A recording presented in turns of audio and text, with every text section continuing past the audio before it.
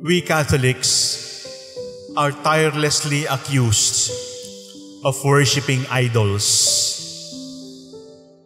When we go to Manaoag, or when we make a procession of the Black Nazarene, the favorite attack against Catholics is we are worshiping idols and it is a sin. It is true that worshiping idols is a sin. But we Catholics do not worship images. We Catholics do not worship sculptures. We Catholics do not worship pictures. They are reminders. But so much for the accusation that we are an idolatrous church. I would like to point out an idolatry that is real, an idolatry that is really sinful. And what is that idolatry? It is not the worship of images. It is not the worship of pictures. It is not the worship of statues. Rather, it is the worship of self. That is the worst idolatry. It is the worship of your own opinion, that you cannot tolerate other opinions. It is the worship of your own beliefs, of your own convictions, that everything that come from other people is unacceptable. It is when you look at the mirror and then you say, Ganda ko talaga. That is self-worship. And that is forbidden. But you see, my dear brothers and sisters, we have become mature and sophisticated and professional enough that we say we don't do that.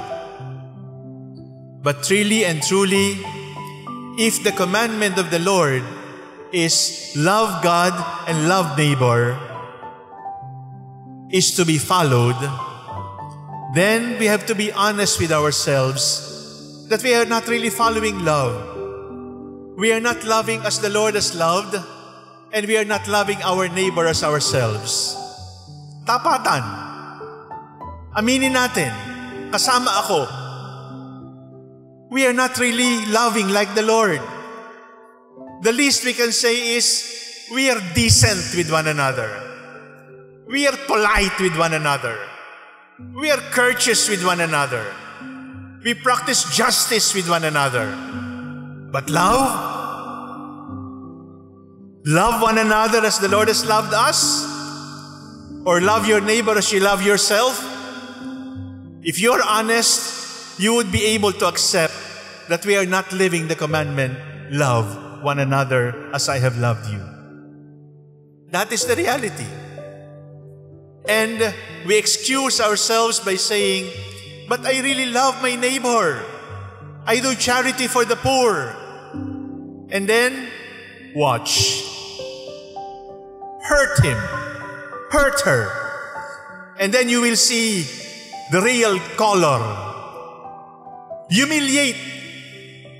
Embarrass. Ignore. Take for granted.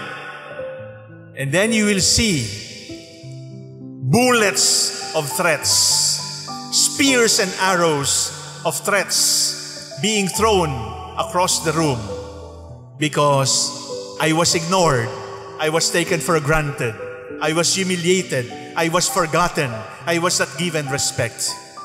That, my dear brothers and sisters, is the test if we are really loving like the Lord.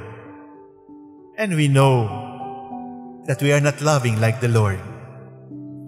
As I said, we are polite, we are civil, we are decent when it is convenient, when it is acceptable, when there are people watching.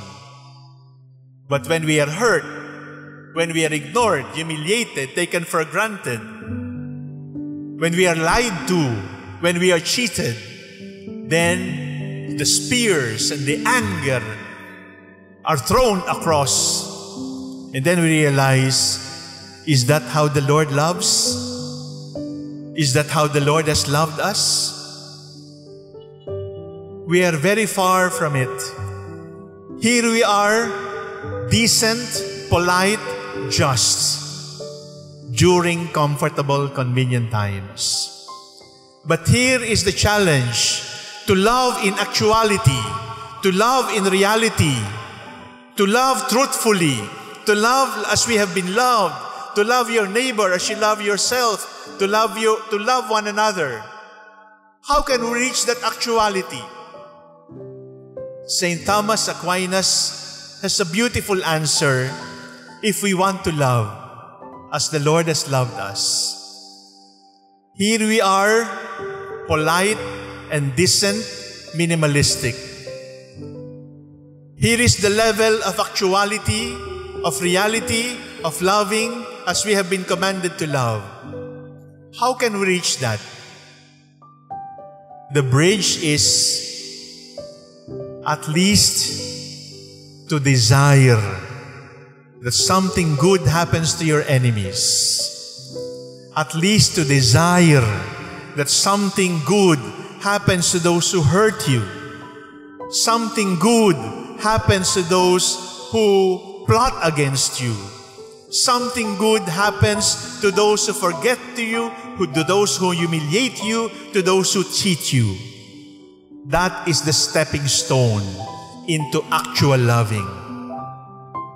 If we can only move that step forward, to be able to desire the good of the others, even if we are not able to die yet for them, even if we are not able to sacrifice yet for them, even, not, even if we are not able to love as the Lord has loved us and to love them as we love ourselves, at least to desire.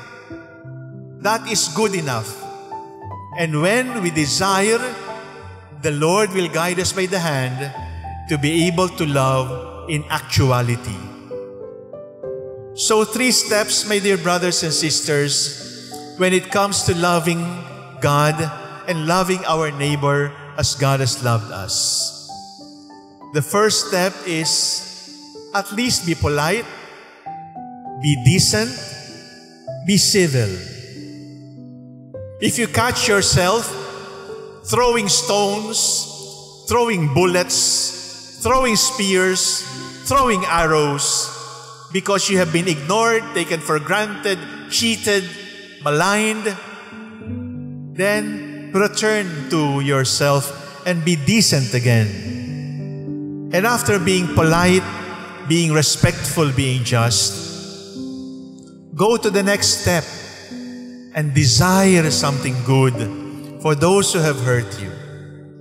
Desire something good for those who have ignored you. Desire something good for those who have cheated you. Desire something good for those who have wrecked your dreams.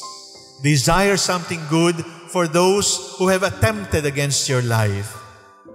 And believe me, if we can only make that desire for the ones who have hurt us, then we will be able to move one step higher than that and love in actuality and make the love of the Lord and our love of self become the rule of our lives.